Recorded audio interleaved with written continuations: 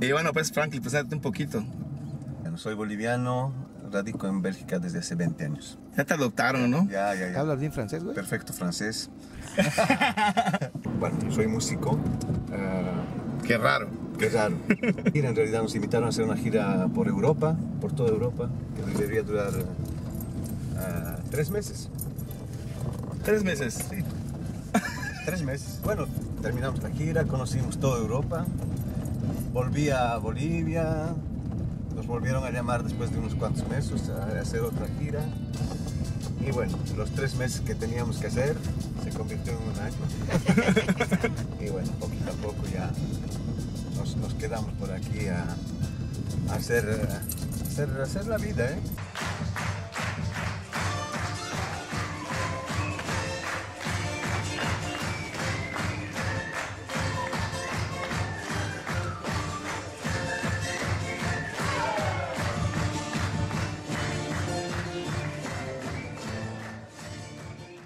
Eres músico y aparte también artista plástico, ¿no? Sí, sí, sí, ahí hago esculturas, pinturas, bueno, un poco todo lo que toca el arte. ¿ah? ¿De casualidad sabes fabricar instrumentos también? No, No, no, ¿Eso no? Bueno, instrumentos. De zampoña, esos. Zampoñas, sí, sí, eso todo es, lo sí. que toca, lo que es flauta, sí, eso. ¿Sí? Sí, ¿no? Ya. No todo porque hay, hay cosas que son muy complicadas, pero las cosas simples, sí. Por ejemplo, las zampoñas, que son las... La conquena. Las quenas son un poco más complicadas. Sí, ¿no? Por la afinación. nu- Nunca me lancé a eso, pero sí, las zampoñas sí, sí, las, las hice ¿A qué edad comenzaste, de Franklin? todo tipo. Yo empecé la música cuando tenía 12 años. Órale. 12 años, sí. ¿Y has compuesto algo, Franklin? Bueno, imagínate, hasta ahora Claro. sí ha habido mucho, muchas composiciones, muchas grabaciones, muchas muchas giras por aquí, por allá y bueno, un poco de todo, como como, como Claro. un, como músico que ya, que ya tiene sus añitos, digamos, atrás, ¿no?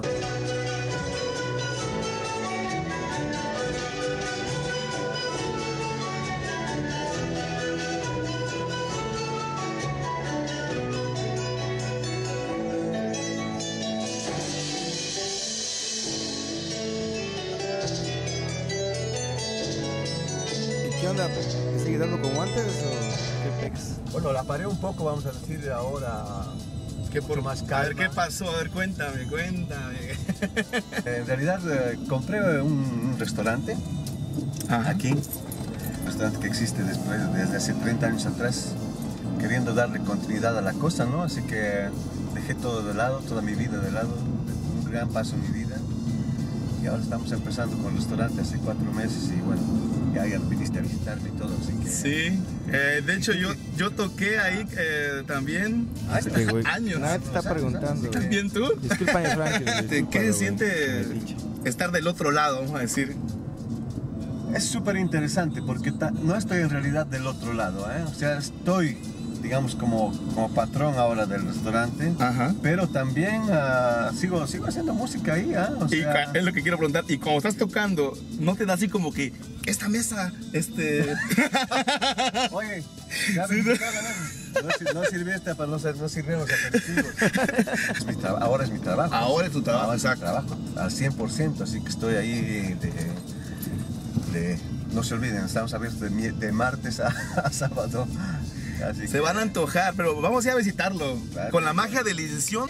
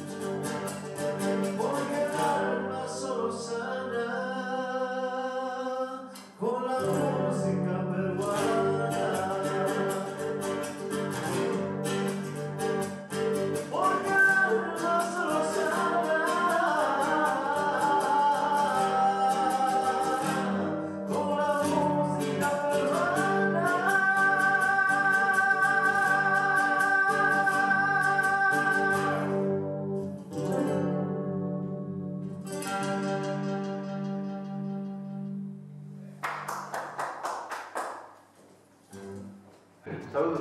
Salud, gracias por la cerveza sin alcohol, esta vez. Sin alcohol, qué raro, ¿ah? Es también vino sin alcohol, ¿ah? Es un jugo de uva, ¿no? Jugo de uva, sí, jugo de uva. Venido cuando quieras, Osmar, y ya sabes, mi casa es tu casa. Gracias, gracias. Y oye, ¿y aquí estos cuadritos entonces? Hay un poco de todo de mí, también un poco de mi historia también aquí en el restaurante.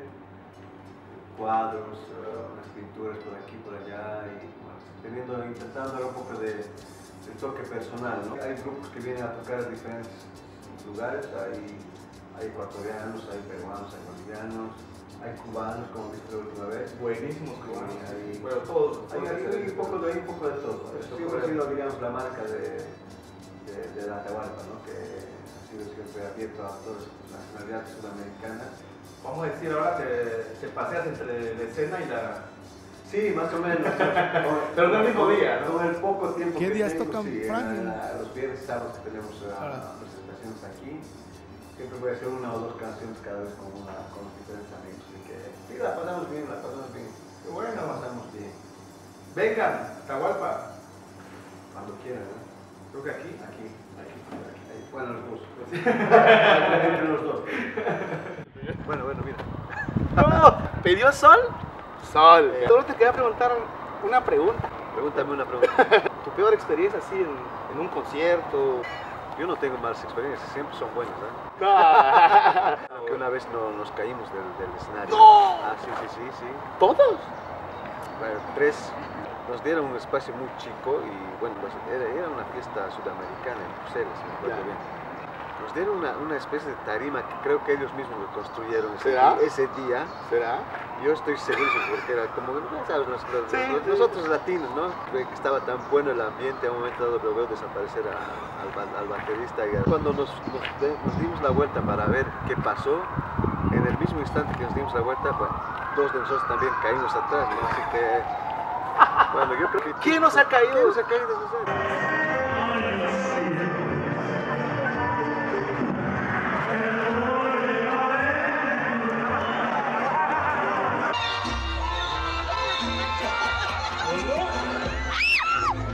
Haciendo, güey? Luego los voy a recibir allá. No, güey. ¿En el No, camerino? No, güey. No, En el camerino. Pero se ocurrido A ver, vamos a ver.